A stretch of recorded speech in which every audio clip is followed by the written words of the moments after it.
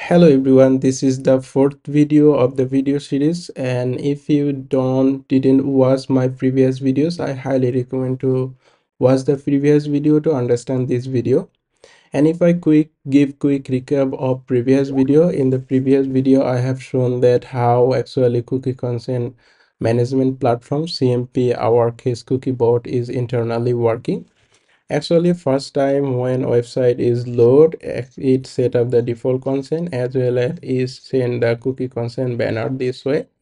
And when user provide the consent then it update the consent this way and you will see your uh, google tag manager this stage as well as it also do another important thing that is it's also save the user provided consent information in user browser so that it can use it for next time when visitor is going to the second page or when visitor is again visiting the website.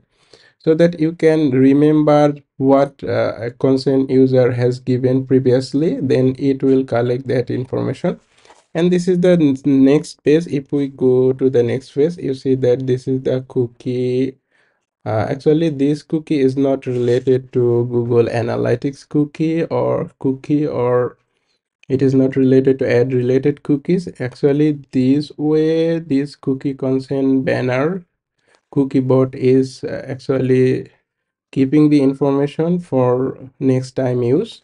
So it is saving this information and then actually if when it go to the next page that cases actually this here that cases actually again it said default consent as well as check uh, the cookie for uh, the user provided consent information and then when it, actually collect the consent information from the local storage or cookies our case is cookie bot use cookies and then it collect the what consent user has given when first time he visited the page then it collect this information and instantly update the consent.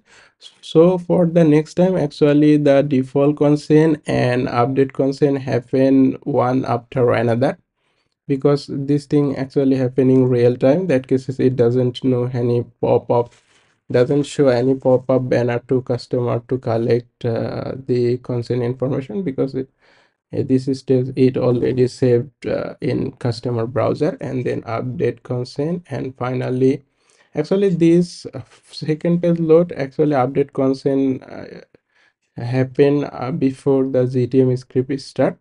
And, and as well as finally it also give the update consent data layer event once it update the consent.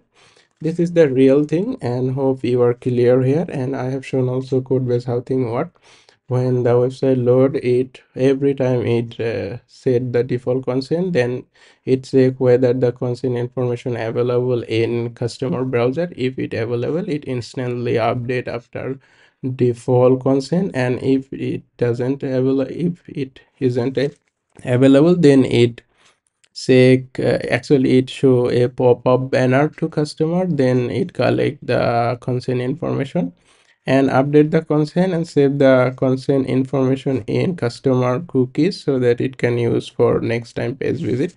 And this is the idea. Hope uh, you are very clear about it. Now today i will discuss about actually how we can configure our tag and other thing using this consent information before going to show that now we will discuss about our primary permission.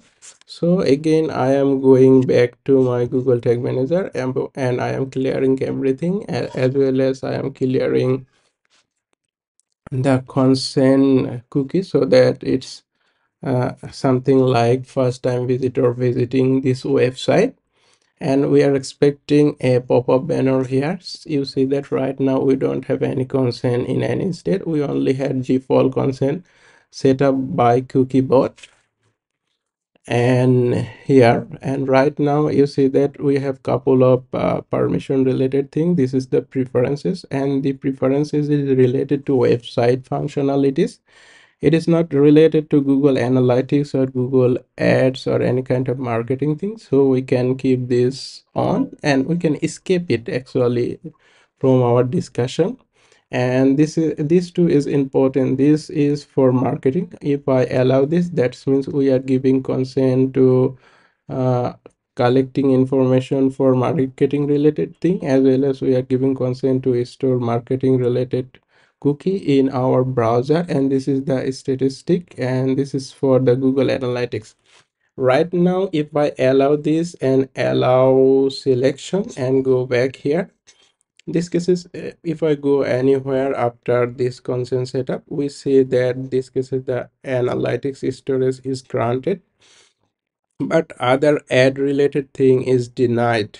But if i clear thing again from here and if i reload it again and if i'm clearing everything from here also to show you clearly.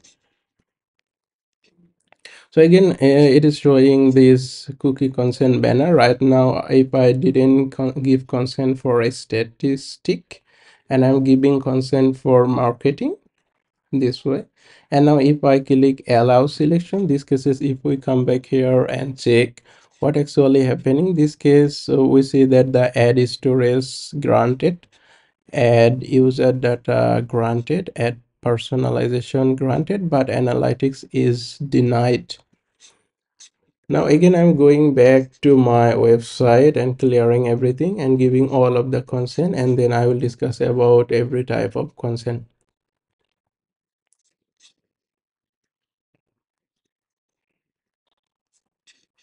okay i am allowing it and right now if i check here everything is granted. Now if i going back to my slide you can check here. So if at the beginning you see that ad storage actually this is there is mainly two type of uh, permission. This is ad storage this is related to any kind of ad and if your customer give consent for ad storage that mean customer is giving consent for interacting with your cookie related to ad so that uh, your ad related tag can read and write cookie in the customer browser. And another is statistic.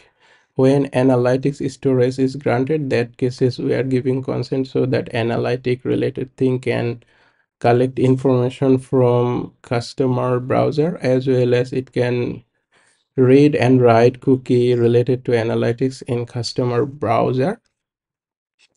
This is the analytic storage. And there is another consent another two consent actually ad user data.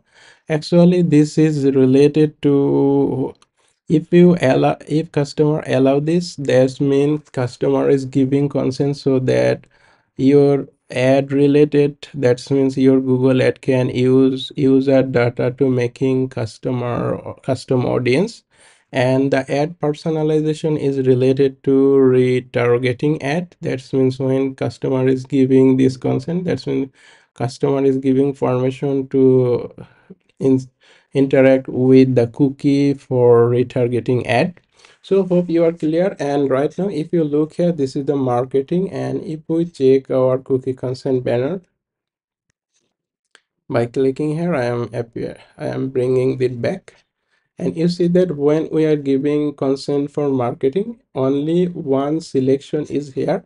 And it is actually giving all three it is actually making all three granted. That means we don't need to give separately for these three consent. Once we giving consent for marketing then it will actually allowing grant actually it will actually updating all three uh, consent. That's mean ad storage ad user data ad personalization is coming from this marketing. Once this allow as that cases actually cookie bot or any other cmp allowing all three here all three are granted you see here. And once we are giving consent for a statistic that cases actually it is giving uh, changing the status as granted for analytics. So hope you are clear here. So marketing uh, related consent is ad storage as well as other two. All three are actually enabling or disabling by user content consent from once a uh, pop-up button in the in the front end consent banner. And this also coming from the storage like this one. So hope you are clear here. Now let's we discuss about our gdpr compliant and consent mode. This term is very popular right now. Actually gdpr compliance is a european union compliance. In the before there was two type of consent. That means that was ad storage and analytics in storage. But right now gdpr compliance uh, actually requiring two other additional consent. That means ad user data ad personalized data. This too was actually was not required in previous but after gdpr compliance update those two also require with our ad consent. That means when ad storage is allowed we also ad storage is granted. We also need to actually get consent from our customer about as user data ad personalization data. But actually we saw that ad storage ad user data and ad personalization. All three are actually enabling by one selection button in the cookie consent pop-up. So actually this is the gdpr compliance new rule. Consent mode version 2 is actually this. Uh, consent mode user need to send two new parameter in addition to ad storage and analytics storage. That means we uh, need to insert these two consent parameter but luckily cookie consent banner is handling all three for us in a one single button. That means ad storage ad user data ad personalization. If you go to this link you, you can learn more about this related things so that we can say that cookie consent version mode version 2 is concerned about five things one is ad storage what is one is analytic storage as well as additional two is ad user data and ad personalization. Those two things is newly added in consent mode version 2 to meet all of the requirement of gdpr compliance. Hope you are clear here. Now we will discuss about implementation of our tag